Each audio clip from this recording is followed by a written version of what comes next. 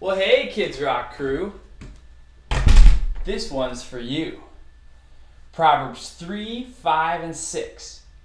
Trust in the Lord with all your heart, and lean not on your own understanding. In all your ways, acknowledge Him, and He will make your paths straight.